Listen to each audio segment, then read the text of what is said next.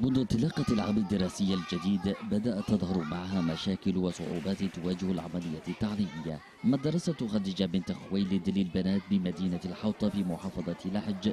نموذجا يحاكي هذه المشكلة بكل تفاصيلها. وللعلم ان مدرسه خديجة في في المديرية تعاني من ازدحام الطلاب آه، آه، بشكل عام وكثيف. حوالي 1100 طالبة.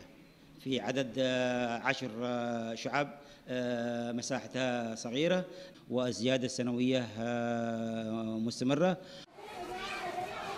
هذا الفصل أنشئ ليستوعب عشرين طالبة لكنه أصبح اليوم يحتضر بين أركانه أكثر من ثمانين طالبة ناهيك عن ارتفاع درجات الحرارة وانقطاع التيار الكهربائي كلها عوامل باتت تؤثر على مستوى تحصيلهن العلمي الصفوف الصفوف صغيرة جدا مزدحمة بالطالبات. أحيانا يتوصل معي العدد إلى 70 طالبة 66 طالبة داخل الصف.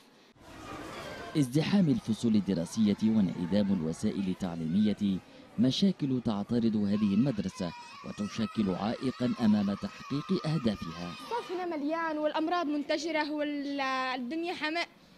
يعني هنا لا نستوعب الطالبة لا تستوعب بسبب أن الصف كثير.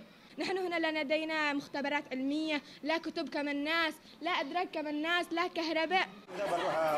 تظل المشاكل والمعاناة التي تواجه هذه المدرسة مرهونة باستجابة وزارة التربية والتعليم لاستكمال بناء المدرسة التي تتكون من 12 فصلا دراسيا والتي ستخفف من ازدحام الطالبات. معنا مبنى مدرسي داخل المدرسة ولكن للأسف الشديد من بعد الحرب تم توقيف بناءه وهو كهيكل فقط. ونحن ناشدنا ما بعد الحرب من التربية وناشدنا المحافظ ومأمور المديرية بأن إذا أتت أي منظمة داعمة فتكون لها الأولوية. ليش؟ لأن الكثافة الطلابية التي داخل المدرسة الصفوف صغيرة جدا مزدحمة بالطالبات. رغم الجهود في تجاوز هذه الصعوبات ومحاولة إيجاد بيئة تعليمية مناسبة للطالبات إلى حد ما إلا أنه لا يزال هناك الكثير من أجل إعادة بناء هذا الصرح التعليمي الذي توقف بناؤه منذ خمس سنوات نتيجة الحرب التي أشعلتها ميليشيا الحوثي في البلاد. مختار شعط القناة بلقيس محافظة لحج